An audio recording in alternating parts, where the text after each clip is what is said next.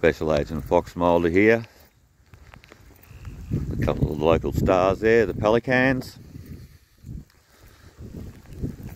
A couple of seagulls, yeah, mine, mine, mine, mine, mine.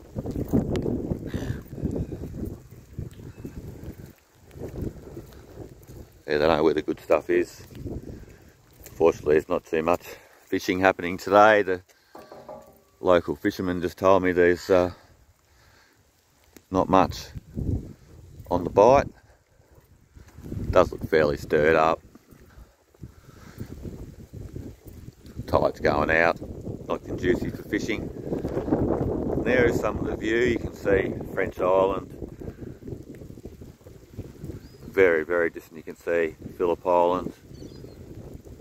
Holding my phone right above the water if I drop it. It'll be the uh, last uh, Special Agent Fox Mulder Doodlebug version. Yeah, this is Stony Point. This is where you can catch the ferry over to French Island.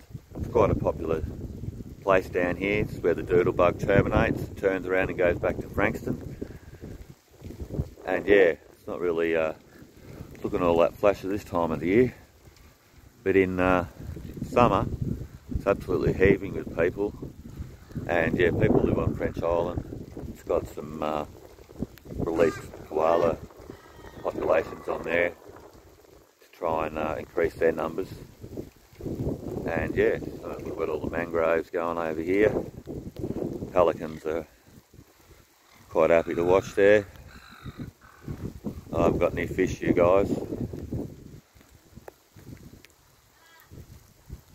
So, this is the boat ramp. As you can see,